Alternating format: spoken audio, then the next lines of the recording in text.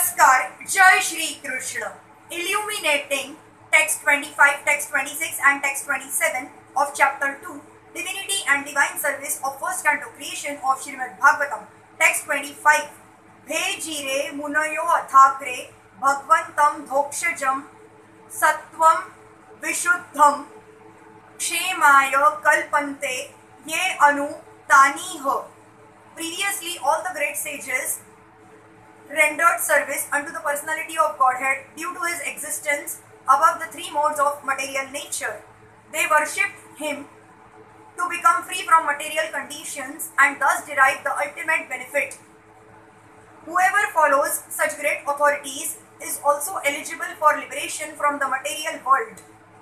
The purpose of performing religion is neither to profit by material gain nor to get the simple knowledge of discerning matter from spirit. The ultimate aim of religious performances is to release oneself from material bondage and regain the life of freedom in the transcendental world where the personality of Godhead is the supreme person. Laws of religion therefore are directly enacted by the personality of Godhead and except for the Mahajanas or the authorized agents of the Lord, no one knows the purpose of religion. There are 12 particular agents of the Lord who know the purpose of religion and all of them render transcendental service unto Him. Persons who desire their own good may follow these Mahajanas and thus attain the supreme benefit. Text 26 Mumukshavo Ghorarupan Hitva Bhutapati Nath Narayan Kalaha शान्ता भजन्ति हयन् सूयवः Those who are serious about liberation are certainly non-envious and they respect all. Yet they reject the horrible and ghastly forms of the demigods and worship only the all blissful forms of Lord Vishnu and his plenary portions. The Supreme Personality of Godhead Shri Krishna, who is the original person of the Vishnu categories, expands himself in two different categories, namely integrated plenary portions and separated parts and parcels. The separated parts and parcels are the servitors and the integrated plenary portions of Vishnu Tattvas are the worshipful objects of service. All demigods who are empowered by the Supreme Lord are also separated parts and parcels. They do not belong to the category of Vishnu Tattvas.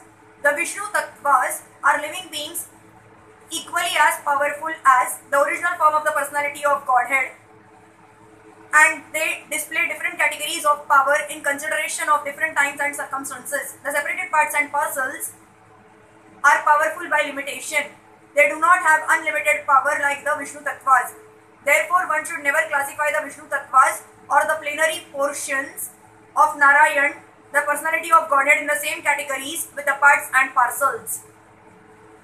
If anyone does so, he becomes at once an offender by the name Pakhandi in the age of Kali, many foolish persons commit such unlawful offences and equalize the two categories.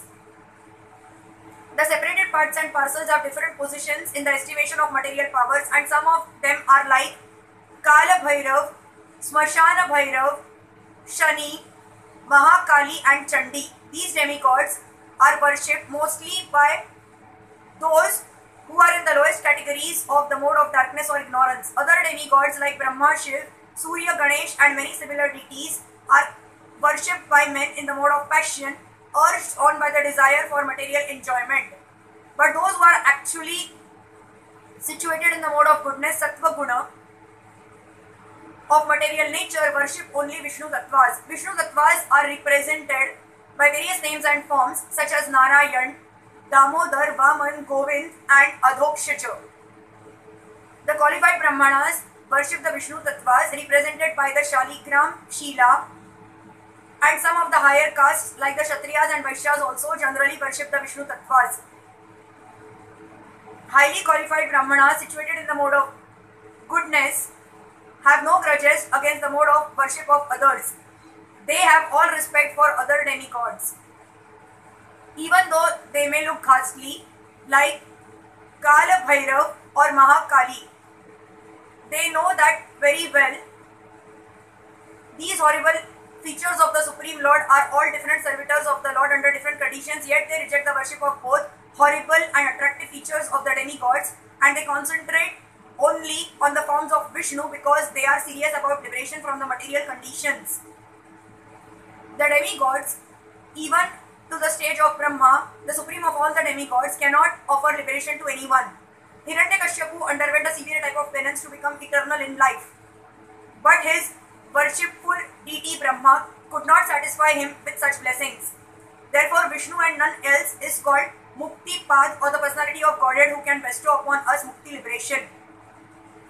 The demigods, being like other living entities in the material world, are all liquidated at the time of the annihilation of the material structure.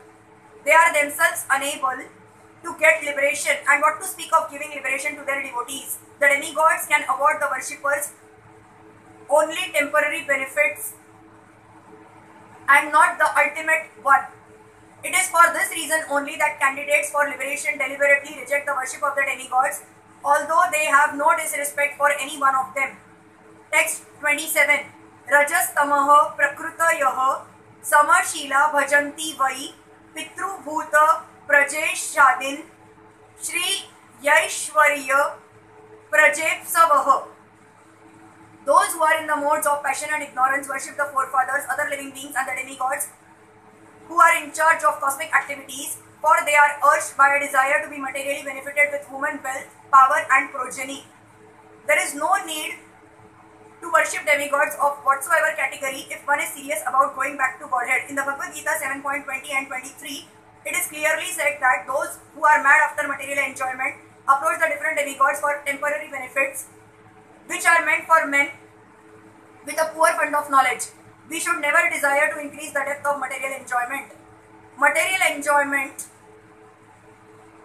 should be accepted only up to the point of the bare necessities of life and not more or less than that. To accept more material enjoyment means to bind oneself more and more to the miseries of material existence. More wealth, more women, and false aristocracy are some of the demands of the materially disposed man because he has no information of the benefit derived from Vishnu worship. By Vishnu worship, one can derive benefit in this life as well as in life after death. Forgetting these principles, foolish people who are after more wealth, more wives, and more children worship various demigods. The aim of life is to end the miseries of life and not to increase them. For material enjoyment, there is no need to approach the demigods. The demigods are but servants of the Lord. As such, they are duty bound to supply necessities of life in the form of water, light, air, etc. One should work hard and worship the Supreme Lord by the fruits of one's hard labor for existence, and that should be the motto of life. One should be careful to execute occupational service with faith in God in the proper way, and that will lead one gradually to the progressive march back to Godhead. Lord Shri Krishna, who was present personally at Vrajadham, stopped the worship of the demigod Indra and advised the residents of Vraja to worship by their business and to have faith in God. Worshipping the multi demigods for material gain is practically a perversity of religion. This sort of religious activity has been condemned in the very beginning of the Bhagavatam as Kaitava Dharma. There is only one religion in the world to be followed by one and all, and that is the Bhagavad Dharma or the religion which teaches us to worship the Supreme Personality of Godhead and no one else. Hare Krishna.